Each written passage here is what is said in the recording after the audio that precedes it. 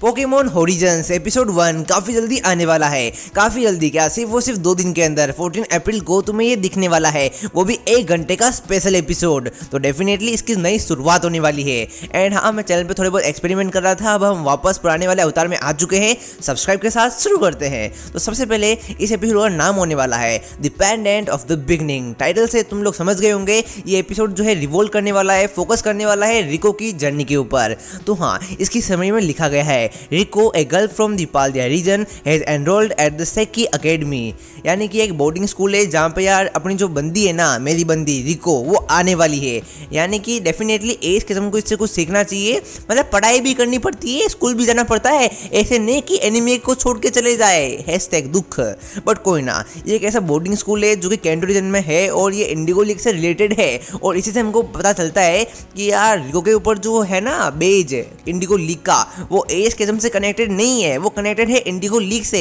Because S की head जो है, उसको गिफ्ट में मिली थी। जब उसने बहुत सारे कार्ड जो है पोस्ट किए थे इंडिगो लीग वालों को। तो डेफिनेटली यहाँ पे हमको पता चल जाता है कि रिको एंड एस में कनेक्शन तो है, लेकिन वो कनेक्शन फादर एंड सन वाला नहीं है। वो कनेक्शन है इंडिगो लीग का।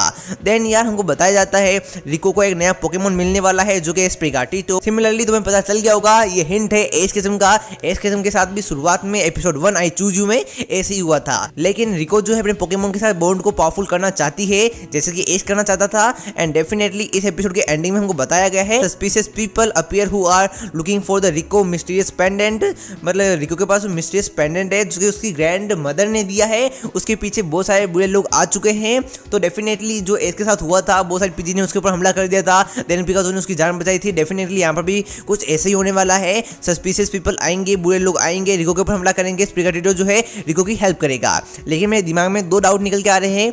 ये तो बात हो गई, समरी में सिर्फ़ और सिर्फ़ रिको के बारे में बताया गया है।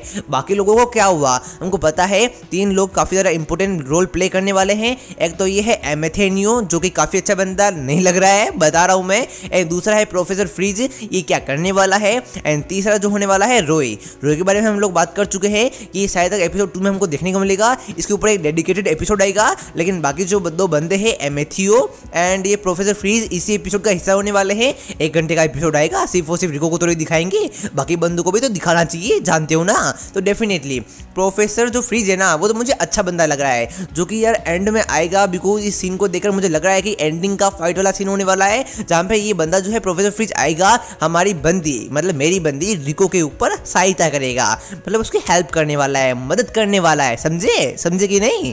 तो डेफिनेटली बट इस बंदे एमेथियो को लेकर मैं थोड़ा सा शोक में हूँ।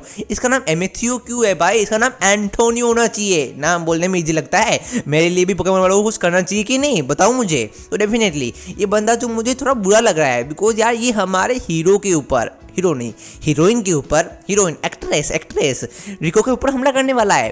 बट यार, ये बुरा है, या अच्छा हमला क्यों कर रहा है? आई डोंट नो वो भी लेवल फाइव स्प्रिगाटीटो के ऊपर लेवल हंड्रेड का ये जो पोकेमोन है ना वापस नाम भूल गया यार, इतनी मुश्किल से मैंने इस लेजेंडरी पोकेमोन का नाम याद किया था। जो भी ये पोकेमोन है, एकदम एटीट्यूड वाला पोकेमोन भाई लेजेंडरी पोकेमोन से स्प्रिगाटीटो के ऊपर हमला कर रहा है। भाई अक्कल वक्ल है कि नहीं तेरे अंदर? बता मुझे, बट कोई ना।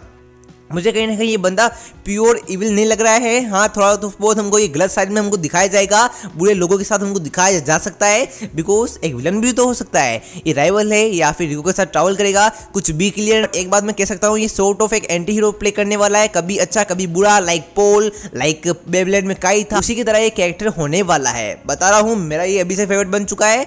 एंड ये तो हो गई एपिसोड वन के बारे में बात। अभी एक और डिटेल है, जो कि कल आएगी। कल वाला वीडियो मिस मत करना। Pokemon Horizons Pokemon fans subscribe कर दो। पोके क्विज का आंसर दो। Bye bye